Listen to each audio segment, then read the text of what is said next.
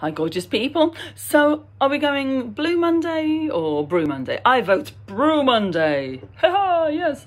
Um, so originally it was Blue Monday, which is the third Monday of the year, is considered to be the most depressing of the entire year. Lots of reasons for that, probably overspending at Christmas, overindulging and too much food, uh, not feeling very fit, or it's cold and wet, um, probably not kept up your New Year's resolutions, etc. And obviously this year it's compounded by lockdown. We're still in it, who can believe it?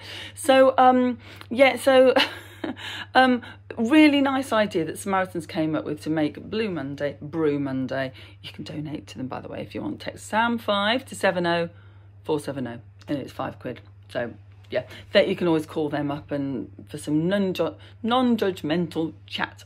Um, but the reason being is just to try to get everybody connected again. So you could um, perhaps message some people tonight. It's not too late to do this right now, or even if it doesn't happen tonight, it happen later in the week. And just get yourselves a brew, get a cuppa, and have a, a cuppa and a chat, and just see how people are. Say, you know, you're all right. You don't seem to have been yourself lately.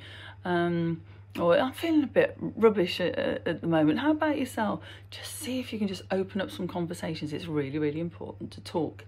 Um, so, I mean, it, actually, it's getting to that time of night as well where it doesn't necessarily have to be teas and coffees in here. Mm -hmm. Hope you're enjoying my Boston Brew mug. I designed this. They're on Etsy if you want one. Um, so, yeah, send a few messages around, see if you can get some people together for Brew Monday this evening or just sometime very soon. You can make appointment today, at least you'll feel better about that. Just get connected, get talking and support people, please. All right then, lovelies. Let me know how you get on. Bye.